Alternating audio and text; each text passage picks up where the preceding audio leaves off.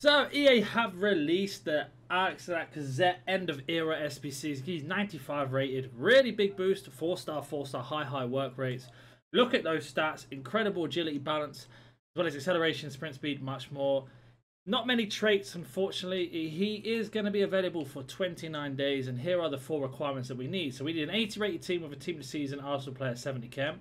A French 84 team with a team of the season 65 chem. Premier League team 85 rated and a team of the season with an 86 rating. So rare Electrum players pack, a rare mixed players pack, premium Electrum players pack, and a gold player pack. So, uh, sorry, a gold rare gold pack even.